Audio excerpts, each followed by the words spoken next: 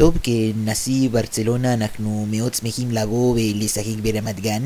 שמעתי שזה אחד מהאצטדיונים היפים בעולם, אה, כל כך יפה שלא הורסים אותו. הבנתי שבשביל לראות שחקן מבקיע גול צריך טלסקופ תלת-ראשי, וגם זה לא עוזר. אנו שמחים לארח את קבוצת ברצלונה בארץ, קבוצה שבאה לפה לאחר הפסד מביך לקבוצת מילאן האיטלקית, עם הגנה שלא תפקדה, עם התקפה שלא הגיעה למצב אחד. אתה ראית איזה גול של לוגסי? טוב, אם ככה אתה חושב, החלטנו לא לבוא ולשלוח במקום את מיורקה עם דודו עוואט. אם תשלח את מיורקה, אנחנו נשלח את הפועל עכו. ברצלונה תשחק מול קבוצה מעורבת של יהודים וערבים, ככל הנראה זאת תהיה מכבי פתח תקווה. אנחנו מחכים למצ'ה בין פיקה למגמדו. קיבלתי חולצה של מסי, ובתמורה נתתי לו חולצות של קנאייב וסדאייב.